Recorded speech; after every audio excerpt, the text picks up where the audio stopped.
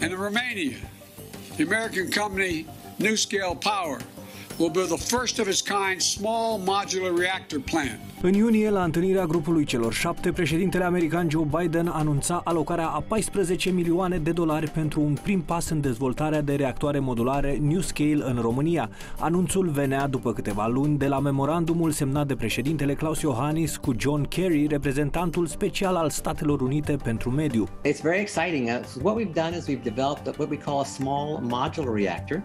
Uh, for our design, uh, it's a small reactor that sits inside of a steel containment vessel, which sits in water below ground. So it's a very simple design.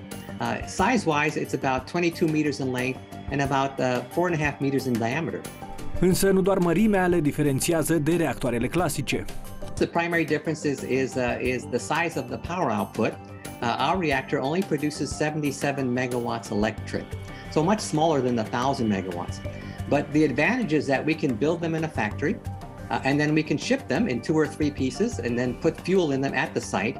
Uh, and we can put one module, two modules, up to 12 modules. So we can go from, uh, from 77 megawatts all the way up to 924 megawatts, uh, depending on the configuration uh, that's needed by the customer. So it's a very flexible design. Cu șase modele prevăzute pentru România, micul reactor ar putea înlocui o termocentrală și ar putea produce 462 de megawatts pe an. This will help bring online zero-emission nuclear energy to Europe faster, more cheaply, and more efficiently. The U.S. government is helping advance the development of this groundbreaking American technology, which will strengthen Europe's energy security and create thousands of jobs in Romania and the United States.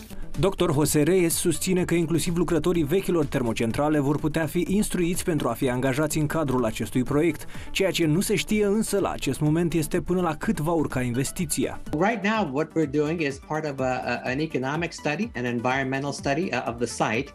Uh, so this is being done by uh, Nuclear Electrica.